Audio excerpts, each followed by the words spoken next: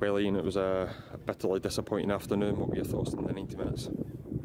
Well, we gave them two penalties, which you know, you're, you're never going to win a game of football coming to a team that's trying to get promoted by giving them two penalties in the first half. I thought we had a great chance from Jordan in the first half.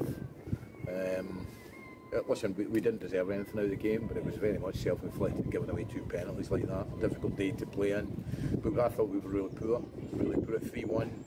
Had a great strike, the goalie's made a great save, we might have made a game of it, but, you know, we're changing the team, you know, with, even with 10 men to try and keep up going, to try and get in the game.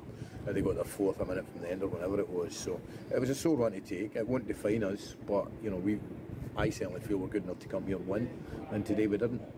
So I suppose that's then the, the challenge next week is huge. Um, there's no denying that, and it's how we we, we bounce back from today's yeah, I mean, you disappointment. can't take away the positive results in the last seven, eight, nine games. We need to uh, next week's a big game for us. We need to respect it's a big game for Stranraer and all the other clubs down near the bottom have got big games. So we need to have a good week in training and then go and try and take three points, which would be vital for us.